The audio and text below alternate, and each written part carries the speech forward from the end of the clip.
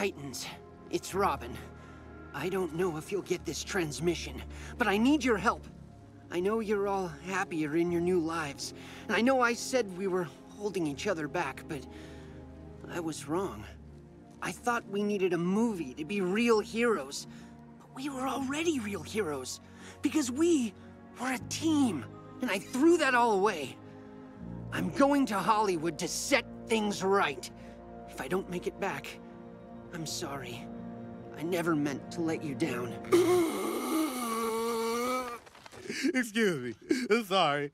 I just get so emotional when it comes to these types of scenes. You're back! Of course we're back, fool. The friendship will always bring us back together. I can't believe it!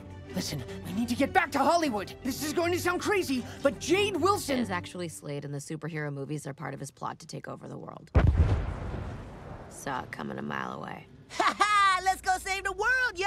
Titans, go!